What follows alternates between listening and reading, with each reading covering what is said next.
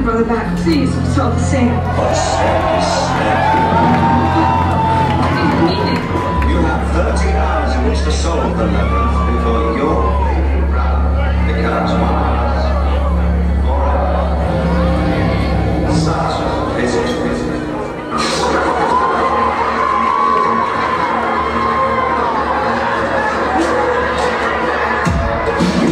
The